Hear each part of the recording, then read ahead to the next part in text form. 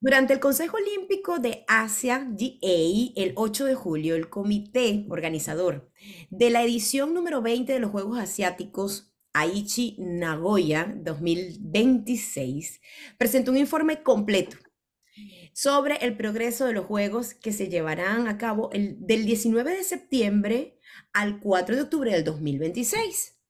Pero la buena noticia de todo esto es que además de que se incorporaron 40 deportes, 61 disciplinas y van a haber 482 eh, eventos, se anunció que el Courage será un deporte oficial en, esta, en este evento olímpico de, de altísimo nivel. Y nosotros aquí en Carolina del Norte estamos doblemente felices, no solamente porque el Courage ha sido reconocido, que ha sido una lucha que Julián Abreu nos ha dicho que han emprendido durante muchísimos años. Eso es una noticia buena. Pero la otra es que hay atletas hispanos en Carolina del Norte que se están preparando para tener todas las condiciones necesarias y participar.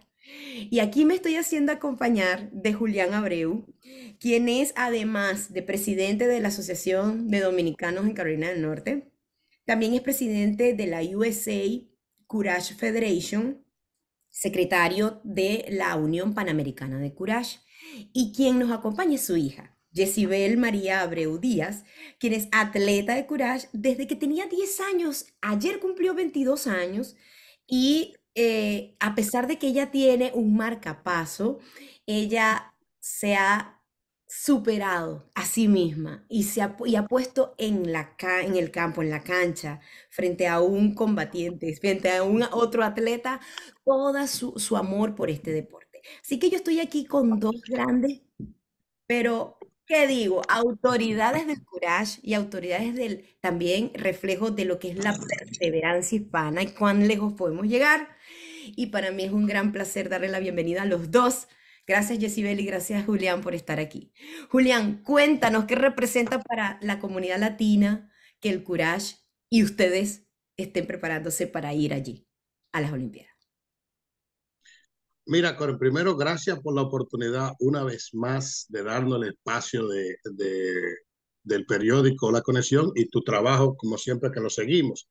Para nosotros como comunidad hispano-latina en Carolina del Norte, Debo decirte, primero, la Federación de Estados Unidos de Curas nació aquí en Carolina del Norte, nació en Raleigh, bajo nuestra dirección, y el programa lo ideamos nosotros precisamente enfocado en la comunidad latina, porque nos interesa, lógicamente, eh, dando espacio a otras comunidades, todas son bienvenidas, pero nos enfocamos más en la comunidad latina porque es un deporte que, que, que nuevo, que va a abrir muchas puertas y nosotros como presidente de USA Courage y secretario de la Unión, pues nos enfocamos en que estas oportunidades lleguen a la comunidad latina porque tenemos el talento deportivo para nosotros descollar en este deporte. Eh, los deportes de combate, es un deporte de combate, el courage, y los deportes de combate siempre en la comunidad hispana ha sido un fuerte, en todos los deportes, boxeo, karate, judo, ahora curas. ¿Y por qué no entonces abrir esta puerta y dar la oportunidad a nuestra comunidad de que sean los primeros protagonistas en Estados Unidos de este deporte? Qué bueno que la comunidad latina esté creciendo también en este sentido, porque el deporte une, une voluntades, el deporte hace que nos separemos de malos hábitos, el deporte hace que nos unamos más como comunidad y el deporte nos conecta con progreso. Pero Jessibel, cuéntanos, cuéntanos ahora tu historia. Eh, el hecho de ser hija de un precursor de Courage acá en el estado y que sembró la semilla para que este, esta disciplina crezca, especialmente en la comunidad latina, en todo Estados Unidos. Cuéntanos cómo te sientes de, de ser parte de este equipo. Um, primero, gracias por esta oportunidad, como dijo mi papá. Eh, desde niña me, me, sentí muy orgullosa, dice que mira, este es mi papá, él fue el que me enseñó, que me puso en la clase, él es el que me entrena aquí y me enseña y me lleva para todos lados del mundo, de que a practicar, a compartir todo eso. Y la gente me mira y dice, ¿cómo que tu papá fue que te enseñó? Dije, sí, mi papá es un sensei. Él fue que él hace desde, desde él, de, ya en Santo Domingo. Y cada vez yo le pregunto, papi, pero dime tu historia, ¿cómo te gustó hacer courage? ¿Cómo es que desde siempre está practicando? Mi mamá se enamoró de él, viéndolo hacer lo que él, él hace. Y yo siempre me gustó haciendo así. Yo dije, yo quiero hacer eso. Vienen mis hermanas y después mis hermanos y todos practicamos juntos.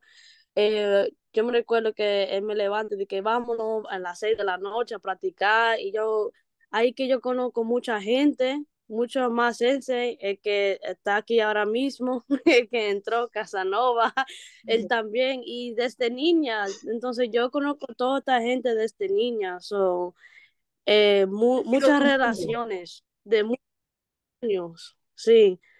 Tú como joven. Y me encanta, tú sabes, yo. Me encanta, eso era lo que te iba a preguntar. ¿Cuál era el mensaje que tú querías compartirle a otros jóvenes que están empezando en el camino del courage y de cualquier otra disciplina eh, en cuanto a esta magia que envuelve una disciplina como esta de combate? Primero lo que lo quiero hacer eh, desde las niñas, muchos más, y mujeres que cuando ustedes entran, a veces las mujeres entran y, se sienten como débil, como que no, se, no saben pelear, no defenderse y todo eso. Cuando yo entré ahí, a mí me gustó mucho porque ahora yo me siento que, que yo puedo. Si algo me pasa, yo sé que yo tengo la fuerza, eh, tengo todo lo que necesito, que las piernas mías tan duras, que tengo, tú sabes, los brazos, yo sé cómo defenderme si algo pasa. Me gusta. Eso más, eso más lo, que me gustó, que, que yo me sé defender desde niña, tú sabes, muchos más las niñas y mujeres. Tú sabes, y, y los otros compartimos con, con, yo sé que yo tenía que pelear con mi hermano, eso no era nada más mujeres y mujeres, era de todo, desde yo estaba peleando con mi hermano, que era más, mucho más grande, mi papá me enseñó cómo es que yo puedo defenderme de un hombre grande, más duro, tú sabes, todas las técnicas que tenía que, que, usar. Pero de, por, por, los niños, yo le digo a ellos que no es tan serio. Eh, eh, hay como mucho fun, pero también que lo cojan en serio, porque todo esto te queda por toda la vida. Toda la vida. Si lo hacen bien, si lo hacen bien y te ponen en la mente que esto es lo que me gusta toda la vida, desde tú puedes tener 30 años, 40, 50, todos los años. Y mira, Julián. Mira, Julián. Yo sé que nadie, nadie, se puede, nadie quiere meterse con Julián. Ya eso es lo que yo sé, que nadie se va a meter con Julián. Luego que eso te deja también mucha disciplina eh, y el hecho de sentir eh, mucha confianza en ti mismo, ¿no? O sea, detrás de todo deporte hay esa preparación mental. Mental de que tienes potencialidad. Y tiene control. Exacto. tener mucho control. Si yo voy uno a, a, pelear en la escuela, yo no, no, porque está cobrando. Porque yo, yo soy más experiencia que esa persona. Todo eso me ayudó a toda mi emoción. Si yo estoy quillado o tú sabes, enojada, todo, yo ahí, ahí, allá yo aprendí a controlarme. Ellos me enseñaron a todo eso también. So, no era más practicando courage, es también ayudándote en la mente, cómo controlarte, cómo que, cómo hacer en un lugar si algo te pasa en la calle, tú sabes, todo eso me ayudó. Y yo siempre estoy feliz ahora, yo nunca me, yo nunca me, me quitan de que enojado, nada, yo siempre estoy feliz. Me encanta, me encanta la verdad porque aquí ustedes ven una muestra de lo que un deporte y un deporte de combate siembra en nuestros jóvenes cuán puede crecer psicológicamente, físicamente, mentalmente esa preparación, la necesidad de seguir, con, seguir eh, en esa disciplina practicándola para interrelacionarse de, mejor manera. Así que, felicitaciones por esta semilla que has dejado en tu hija y que hoy está siendo ese reflejo de lo poderoso que puede ser desarrollar una disciplina como esta y formar la parte de nuestras, hacer la parte de nuestras vidas. Así que te voy a mandar a mi hijo pronto para que también aprenda a ser como Jessibel. Yo creo que llegó la hora de pedirle a Jaime Casanova, quien es también, también es sensei, que comparta con nosotros cómo, Jaime, eh, te sientes de formar esta semilla, de también sembrar semillas acá y de qué representa para nuestra comunidad latina que el Courage esté ahora no solamente reconocido desde el plano olímpico, sino también desarrollándose en Carolina del Norte.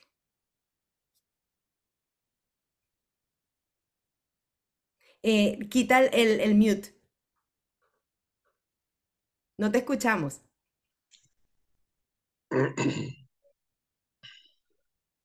Ahora, quítalo ahí. ¿Aló? Ahora sí. ¿Me oyes? Ahora sí. Te Ahora sí, bueno.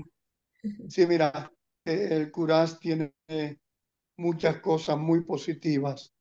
Una de ellas hoy día es que, por ejemplo, las chicas eh, pueden tener una manera de defensa personal que les va a ayudar mucho en su vida diaria y que Dios no lo quiera, cuando tengan que enfrentar a un agresor, ya sea un asalto, una agresión sexual, eh, van a poder defenderse.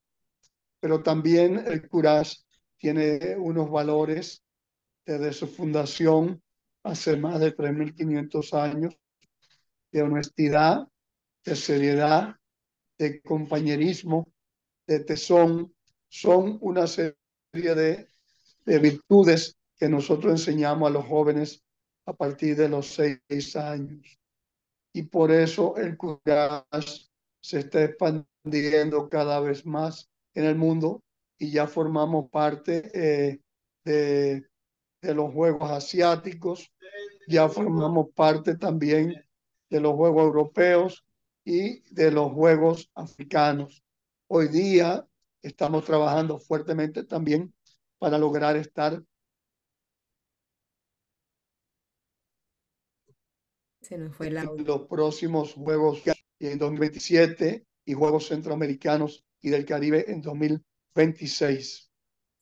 ¡Qué alegría! Entonces, pues tenemos eh, una carrera, diríamos, contra el tiempo, trabajando para lograr esos objetivos, porque ya el Curaz está en el mundo, en los cinco continentes y en más de 130 países.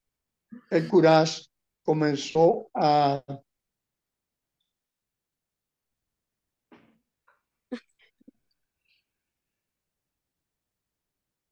cuando finalizó la Soviética el primero de septiembre de 1991.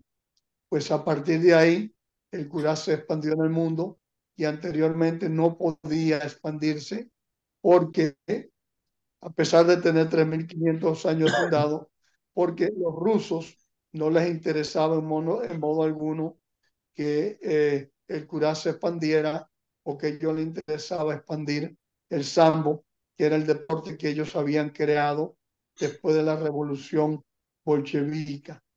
bolchevique. Entonces, a partir de ahí, pues el Curaz ha tenido una gran aceptación a nivel mundial.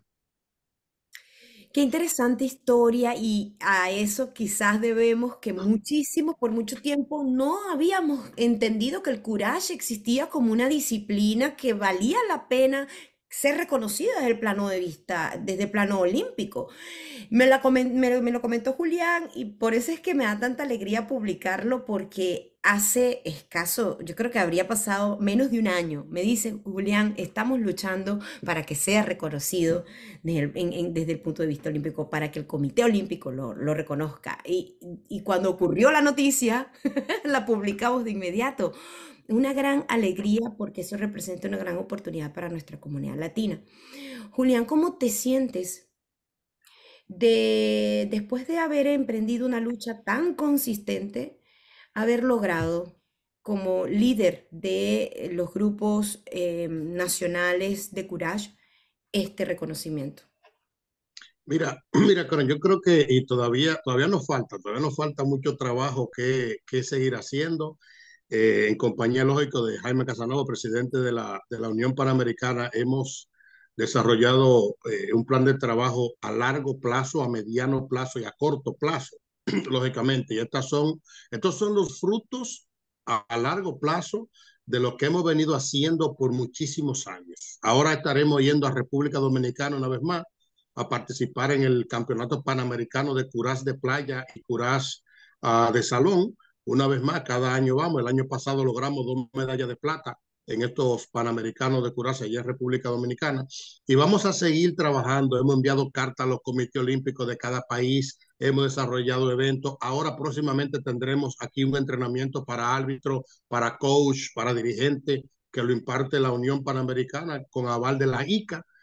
Y seguimos trabajando. Lo que sí eh, eh, hacemos, pues, como siempre, el pedido a la comunidad de que se integre, a los jóvenes, de que nos apoyen, de que participen, de que practiquen y se unan a nosotros en esta lucha que es de todo, porque al final estamos aportando un granito de arena al buen desarrollo deportivo y comunitario de nuestra comunidad latino parlante. Las puertas están abiertas para todos para todo absolutamente, están abiertas para todos, patrocinadores, lógico que necesitamos, Coren también, porque hemos estado trabajando, como decimos en el algo popular, la mano pelada y sin recursos, pero no vamos a desmayar hasta lograr nosotros estar en los Juegos Olímpicos, pues cuando nos toque. La Unión Panamericana, que es la que nos soporta, la que nos da apoyo, el presidente Jaime y el, cuerpo directivo y ejecutivo de la Unión Panamericana no desmaya en los trabajos que vamos a seguir haciendo. Hemos ido incorporando país tras país en este proyecto, Venezuela, Colombia, Costa Rica, Haití, República Dominicana. ¡Wow! Y en América se está expandiendo el CURAS de una manera vertiginosa. Así es que el llamado está ahí. Ahora acabamos de incorporar a México también está dentro de la Unión y prontamente estaremos haciendo intercambio con estos países. Aquí en Estados Unidos también hemos ido desarrollando poco a poco el, el, el, plan de trabajo, aunque un poco más difícil. Como sabemos, Estados Unidos es una plaza bien compleja, pero eh, vamos a seguir nosotros trabajando y, y, ahí tranquilito poniendo el granito de arena donde nos corresponde. Y lógicamente con nuestros atletas, Yesibel, Jamaico, Giliana, Juan Manuel allá en el dojo de USA Dojo, que le damos las gracias por siempre estar ahí presente, los muchachos que practican. Pues vamos a seguir poquito a poco desarrollando el programa de Curaz con mira a los Juegos Olímpicos. Qué bueno. En la caja de descripción de este video vas a conseguir el número telefónico a través del cual te puedes comunicar con quienes lideran este movimiento para que te puedas sumar, así como dice Julián, a las filas de estos atletas que cada día va creciendo en América Latina y por qué no aquí en Carolina del Norte. ¿Cómo nos preparamos entonces? ¿Cuál es la expectativa? ¿Cuántos atletas pueden ir, crees tú, o que están empezando a prepararse para participar en los Juegos Asiáticos? Mira, eh, por una cuestión de recursos, Coren, y eso es una realidad que no podemos negarla, por una cuestión de recursos siempre estamos muy limitados y esperamos por lo menos en esta ocasión llevarnos dos o tres atletas más un entrenador y un delegado. Sería una, una comitiva, una delegación de cinco personas en total, pero esto es cuestión de puramente por, por, por eh, eh, ¿cómo te digo? Por deficiencias económicas que tenemos en, en la federación. Lógico, el, el, el, equipo, el equipo está preparado para llevar más, pero siempre la Unión Panamericana, que es la que nos costea muchas veces los costos de estos pasajes, de esta estadía, también tiene otro compromiso con otros países y entendemos también la limitación que tiene la Unión Panamericana con estos recursos pero trataremos de llevar uno, dos atletas, un entrenador y un delegado a los próximos Juegos Asiáticos. Muy bien, bueno, desde ahora les deseo la mayor de las suertes. Por favor, la conexión USA quiere estar muy pegadita a ustedes en todo este proceso. Comuníquenos y nosotros estaremos con todo el placer cubriendo todos los eventos que tengan que ver eh, con esto que va a ocurrir en el año 2026 y ya desde ya felicitamos y le mandamos las mejores energías a estos atletas y a las personas que los van a acompañar y a ustedes Julián y Jaime por hacer posible este sueño y por hacer posible que más atletas se sumen. Así que de nuestra parte va a quedar siempre la, la, convocatoria para que se comuniquen con ustedes y esta comitiva vaya creciendo y sobre todo los patrocinadores. Se necesita que iniciativas como estas tan poderosas, que siembran bienestar, valores de solidaridad, de ayuda, de cooperación, necesitan, necesitan de nuestra mano, amiga, de nuestra ayuda. Así que por favor, comuníquense con Julián Abreu y con la sociedad, con la asociación, para que más jóvenes tengan esta oportunidad. ¿Algo más que quieran agregar? No, de mi parte, muchas gracias, Core, siempre al periódico y a tu persona por estar pendiente del desarrollo deportivo nuestro aquí en Carolina del Norte. Y como siempre, las puertas están abiertas de la Federación de Estados Unidos de Curaz, de la Unión Panamericana de Curaz, que aquí está su presidente, Jaime, gracias por estar ahí siempre dándonos apoyo, y a Jessibel por siempre dar su esfuerzo, su sudor y su sacrificio. bueno. bueno. Jaime, sí diga. Bueno, decirte que algo que no se quiere hablar en el arte, en el área de las artes marciales, es decir, que Kuraz es la madre de todas las artes marciales. Eh, se habla de que judo, eh, jiu-jitsu y otros deportes nacieron por intermedio del Kuraz. Kuraz fue primero hace 3.500 años. Sí, yo estuve haciendo algunas reseñas después de que Julián me dijo que el courage iba creciendo en Latinoamérica y me di cuenta que hace 3.500 años nació el courage. Así que sí, en efecto, es el primero y por, lo, por, lo, por, consecuencia es la madre de todas las artes marciales. Así que muchas gracias a los tres por estar aquí con nosotros y estamos en contacto. Gracias.